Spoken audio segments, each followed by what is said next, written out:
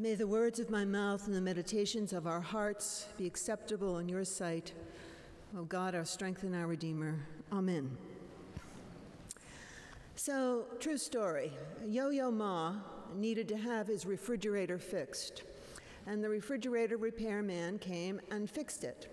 And while he was there in the kitchen, the repairman said to Yo Yo Ma, So, I, what I really want to know is how come you left your precious $2.5 million, 266 year old cello in a taxi cab? How did that happen? And Yo-Yo Ma explained the story of it. And they were jocular and easy with each other. And the refrigerator got fixed, and the repairman went home.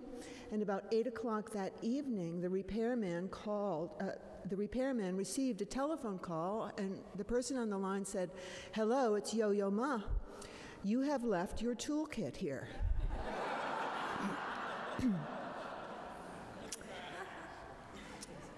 Our text for the day is summarized here. Yo Yo Ma lost his cello, the repairman lost his tools. You've got a stick, I've got a boulder, he's got a boulder, you've got a stick.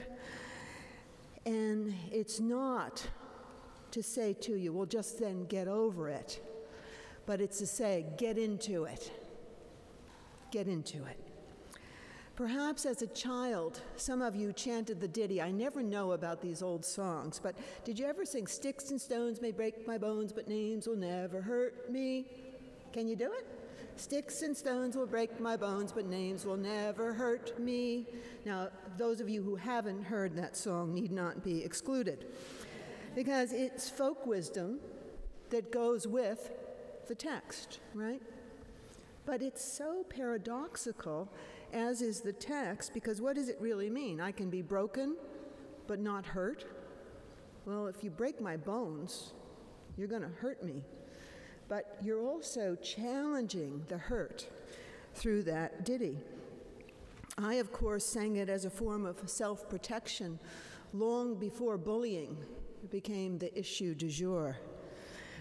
I sang it when other kids made fun of my clothes, or particularly when they said, Oh, you don't have a lunchbox, you just have a bag. And people here in this room today surely have your own injuries, some larger, some smaller. Some of you have been called a faggot. Others have been called the N word, some big and some smaller. I got taunted because I was a tomboy, and I didn't even know what that was, except that I knew it wasn't a good thing. It wasn't the right way to be a girl. And I would sing, either out loud or under my breath Sticks and stones may break my bones, but names will never hurt me. You get the ditty. Some of you know that I went to a different high school and junior high every year because my father was employed for the garment industry and we got moved around in the South. And boy, I hated the first day of school. And the only thing that really helped me was having learned this text in Luther League. And I'd walk into those new schools with my New York accent, and I'd practice Southern, of course. And then I'd look these kids straight in the eye and say, You know, you're probably as scared as I am. And it got me through. Notice that everybody has injury, some small, some large. Everybody can be afraid.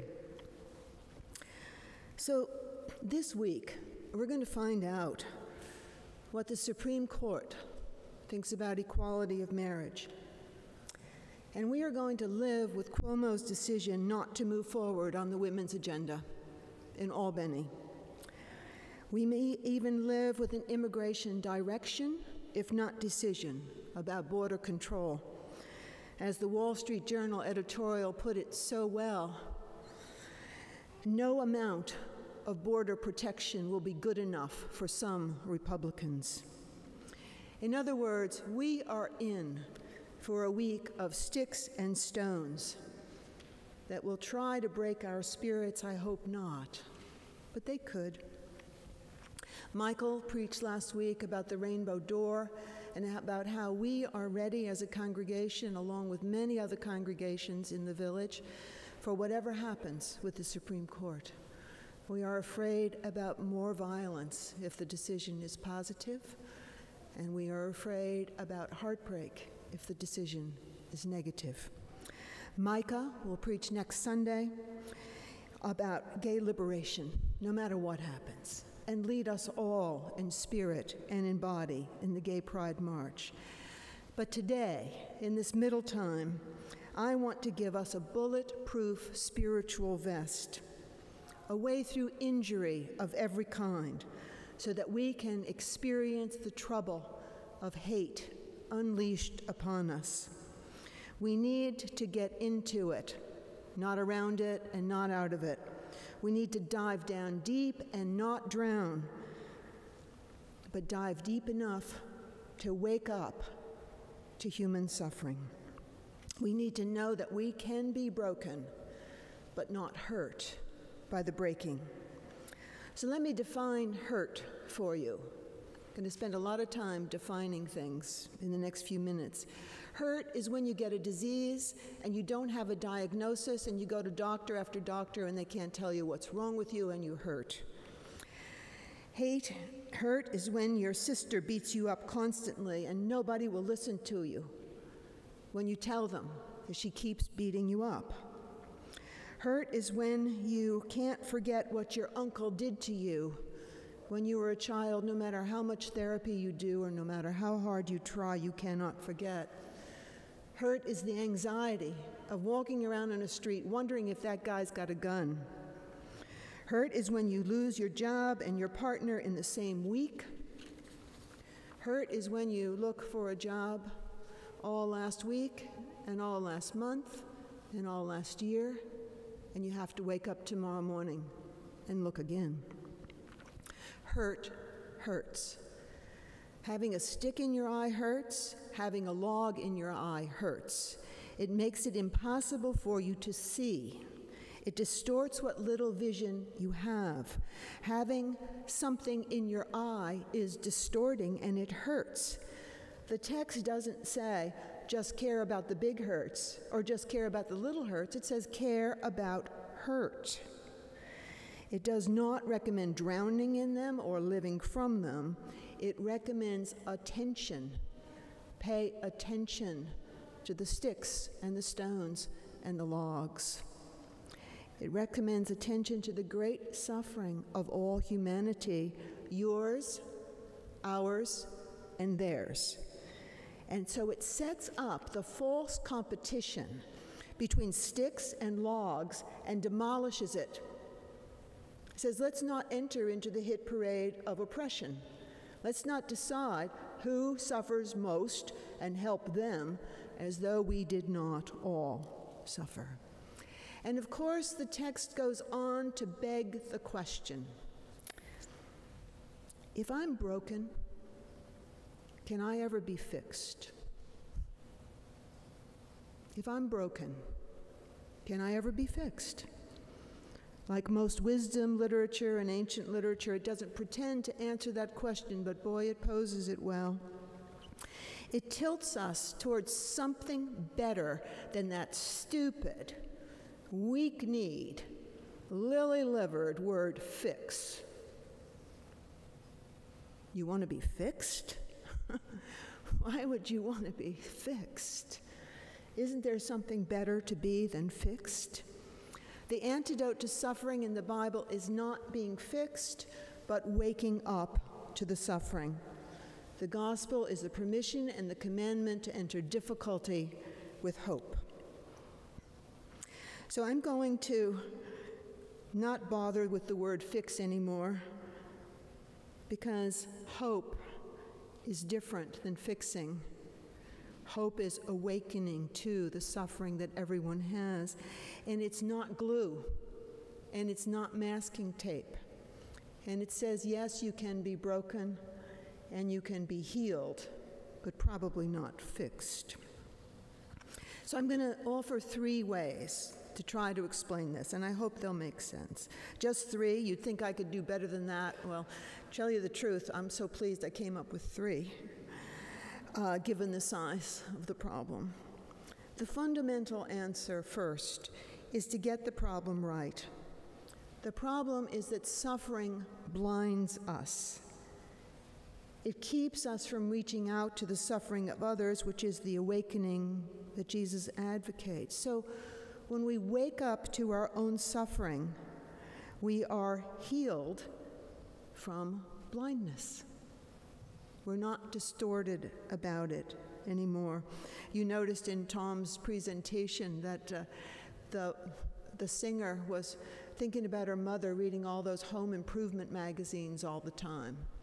You could argue that that's a really flimsy form of suffering.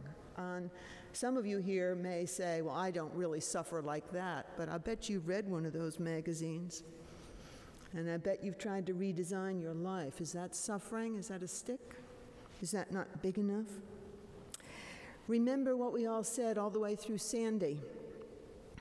I had it bad, but other people had it worse. This text tells you not to go there. Don't measure your suffering against other people's suffering.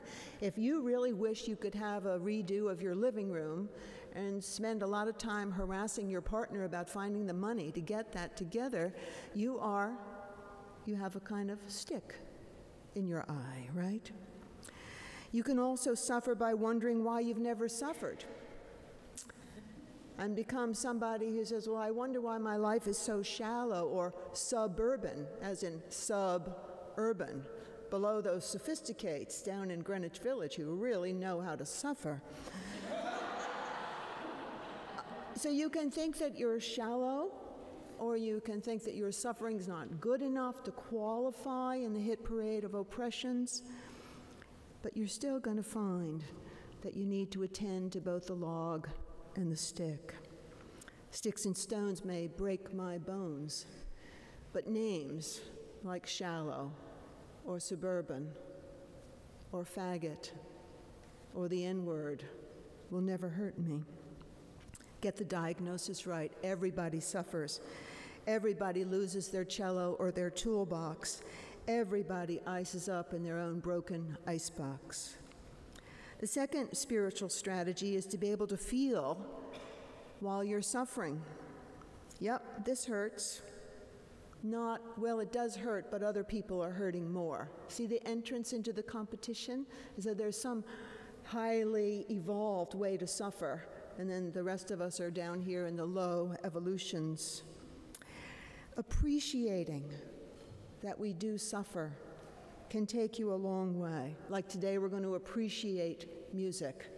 Appreciation gets the log and the stick out of the way. I think that 80% of activism is based in appreciating suffering, in recognizing suffering. It's not in signing petitions, it's not in showing up. It's remembering why you're trying to change the world in the first place. What got you going about this? Why did you come into the world to fix it? What's wrong with it? What happened? I find that um, we can say the name Mark Carson, who was murdered too many times, and we just start to say, I don't know, I don't feel that anymore. Or we can say that Jean Montrevil is still not safe under the new law and not feel it enough. Or we can remember something showed up in my inbox this week, that killed me. It was a new study, big study, about how one out of three women have experienced sexual violence. One out of three women have experienced sexual violence. Do you know that's the same figure that we used when we founded Women Organized Against Rape in 1969? Do you know that with all this, there is no change in that number? Oh my. How do we get outside of that statistic and into the fact that there are about 50 women, let's say, in this room? Do the math. 3 into 50. That's how many women in this room likely have experienced sexual violence, then there is a number there that is not budging. So, getting the diagnosis right about your own suffering, but also about the suffering of the world, really matters. I enjoyed the graduation speech given at Pitzer University by Jon Lovett. How many of you saw it? I know we sent it around. Uh, I now I know how many of you open your mail from us. Okay, we'll just stop sending it and deal with that. So while we're in recognition moment, diagnosis moment, let's repeat, repeat a few of his key points. Jon Lovett is a speechwriter. He spoke at the Pitzer graduation. Uh, get ready for a word you're not supposed to hear from the pulpit. Of course, I'm quoting. Lovett says, We are drowning in bullshit. We live so deeply in a culture of insincerity. You've heard the robot tell you, Your call is important to us. right. And so, what he wanted the graduates to do was to get into it and to name the public suffering of having to hear once or twice or maybe three times a day, your call is important to us. In robotic, the new language for the universe. Lovett goes on to conclude that that call is not important to us or them. It is just not, period. Nor are we. And that's why his conclusion is that we live in a time of peak BS. So, the second spiritual strategy is to get it right that we are all suffering collectively as well as individually. And understanding that activism is 80% seeing the public suffering and saying, aha, I see it. Oh my, I see it. Recognizing that we are in peak BS, as opposed to letting anybody ever say to you, well, just get over it. Get over it. Get on with it. You're not in as much trouble as those poor starving children in China, so eat your damn vegetables and be quiet about it.